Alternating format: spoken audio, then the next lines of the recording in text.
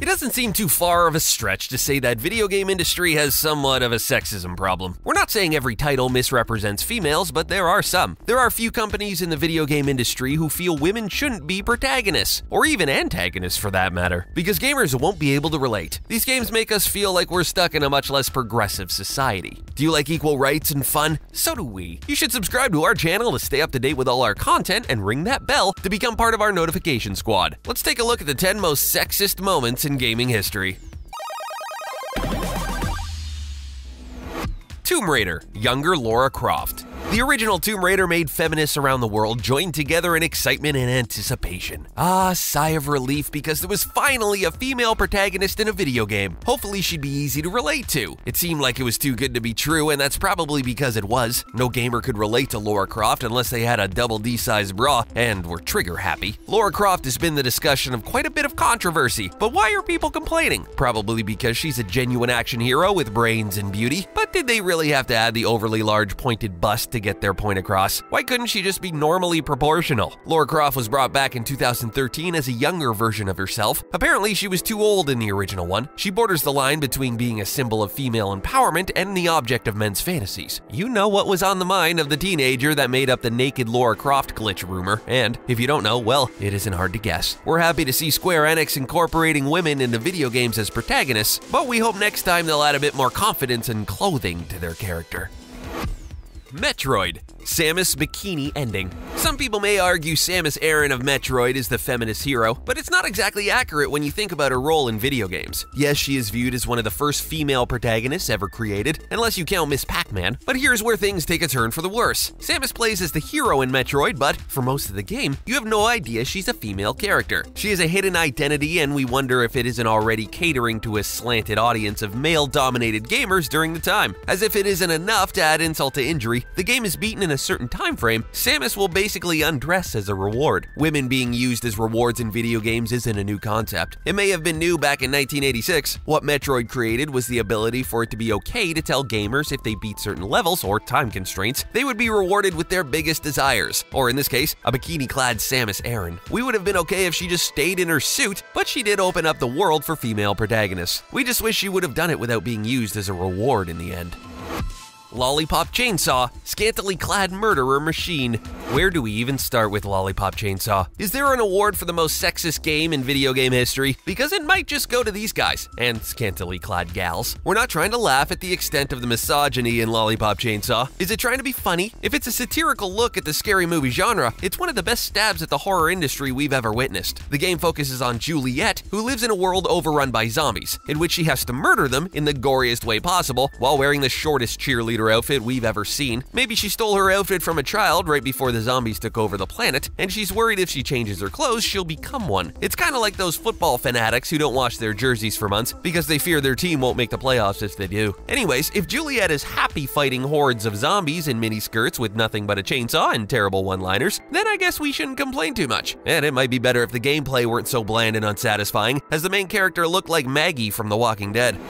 Witcher, one night stand romance cards. The Witcher series is no stranger to nudity in the video gaming world, but it really boosted the egos of sex starved teens everywhere when it introduced the concept of romance cards rewards after one night stands with various women in the game. What you were doing was no secret either. Ah, to be young and misogynistic again. The game offered 20 different sexual encounters, including some with attractive nurses and the town hall clerk. We're sure things were really heated with the half elf woman as well. These women just drop their trousers and are ready to party the second they're rescued, which seems to be a common theme with all women in this game. At least the game panned away from showing any explicit content, and we only got to hear the half-hearted moans and underpaid female voice actresses pretending to have a good time. Monogamy isn't going to be too high on the list of a game which rewards your bad behavior towards women. If your idea of a good time is collecting cards of a one-night stand and then joyfully looking at all those encounters, then hey, so be it. The Witcher 3 introduced us to the most uncomfortable looking time between man and woman on a wooden unicorn. Well, at least they're being creative in their sexist game.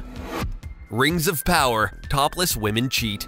We're sure J.R.R. Tolkien would have loved to sue Naughty Dog for copyright infringement when they released The Rings of Power. Then again, the literary genius didn't have time for smut in video games. Sadly, the only reason people ever remember Rings of Power is because it's quite possibly the first game to ever introduce nudity to video games. The RPG was meant to be children's entertainment. It was meant to immerse gamers in a world much like Tolkien created in The Hobbit and Lord of the Rings. The goal was for the young sorcerer to collect 11 Rings of Power and use them to remake the Rod of Creation to defeat an evil god and bring back the Golden Age. Naughty Dog didn't strive too hard on this one as far as creativity goes. It was no Crash Bandicoot. What they did do to make the game a little more interesting was add a scene where the model in the beginning of the game is featured topless. Rings of Power ended up being a pretty good seller for the Sega Genesis, although, once again, it was no Crash Bandicoot. It did receive some poor reviews since it isn't exactly the most original RPG game ever created, but what it lacked in creativity, it made up for in misogyny with the inclusion of the topless women cheat code. Skyrim, confronting the harlot Helga. One thing most players who play Skyrim had in common was they loved to regale you with tales of their awesome deeds in the game. In a world as expansive as Skyrim, it was hard to even fathom how they couldn't have included some sexist quest in there somewhere. Eventually, someone would have to stumble across it. And trust us, it wasn't too hard to find when you reached the city of Riften. There you would have to meet an innkeeper by the name of Helga and her niece Savannah. The niece complains to you of her aunt's nightly duties and is unamused her aunt gets more attention. She ends up charging you to find proof her aunt has been sleeping with a bunch of men so she can rub her nose in it. You probably agree half heartedly because it's not like you have more important things to do. Then you get stuck basically stealing men's sex tokens and shaming the business owner into not having sexual encounters with whoever she deems worthy. Unless she wants to face the puritanical rage of the townsfolk, who would probably be less than kind to her immoral actions than what happened in Salem, Massachusetts. A sexist hero's job well done, if we do say so ourselves. Vampire, the Masquerade, Pimpin' for Romero. Yeah, if the title didn't imply it, the game is actually about werewolves. Huh. Also, did we mention you're a modern day vampire stuck in the world of the undead and all its weird politics? The werewolves are opposed to urban civilization and supernatural corruption because it will inevitably lead to the apocalypse. Things are just too bizarre in this game, but it has a pretty epic storyline, all things considered. Now, things get pretty strange when you get to the Pimpin' for Romero quest. Romero is a human who serves the vampires by fighting zombies. Yes, it's a little weird and he keeps popping up at the local cemetery. You really just shouldn't question anything in this game. He asks you to cover his shift, which seems pretty innocent until he tells you he's meeting up with a prostitute. So in this instance, you're giving two choices depending on your gender. If you're a male, you can either battle a bunch of zombies or fetch a prostitute for Romero. If you're a female, things get a little bit more complicated. You can pimp yourself out to Romero. But hey, you get some experience points and a few shotgun shells out of the deal. Anything to get out of doing Romero's dirty work will do, even misogyny and necrophilia. Policenauts molest Meryl. Policenauts has a pretty hard sci fi storyline, and it's close to what we'd imagine a lethal weapon movie in space would be like. The game centers on a detective who travels around and ends up in a space colony to investigate some pretty bizarre circumstances. This includes his ex wife's murder and her new husband's sudden disappearance. The game focuses on the main character, Jonathan Ingram, as he interacts with his environment in a point and click style. He meets fellow cop, Meryl Silverberg, and things get a little interesting. She isn't very modest about her amazing skills and even makes a bargain with the main character. She's known as the best shooter on the force, so she's confident enough to agree to let you cop a feel if you somehow beat her in target practice score. It isn't going to be easy to beat, so she most likely only made the bet with the intention of winning. But the fact that you're allowed to basically molest her if you beat her score is just sexism at its finest. Well, she did make the bet after all, right? The most bizarre part is if you do beat the score and get a squeeze, you'll hear animal noises, which kind of makes us wonder what the Japanese developers have been doing in their free time. Harvest Moon 3 female character means game over. If you're gonna play Harvest Moon, then you better make sure you don't choose to play as a female, because the developers have snuck a not so entertaining addition in there. Unless you want to deal with sexism and their opinion on women and agriculture, don't choose a female character. To start off, the male character gets more stamina, which means he can accomplish much more on the farm every day. The girl has to quit early to get some beauty sleep and fix her hair. Also, the male gets to upgrade his farm tool and get the girl. Well, she gets what she has and shouldn't complain, right? Not only do they make the game harder to play as a female character, but if you play as a boy and get married, the game will keep going even though you have a family. If you do the same thing as a female character, it's basically game over. So don't plan on having kids unless you want to be a 1950s housewife for the rest of your days. Apparently, it's impossible for you to balance both a family life and work life, so the end credits have you sitting in front of a television while your husband does all the hard labor. Guess we'll just all watch daytime soaps and hope Harvest Moon develops a less slanted opinion of females.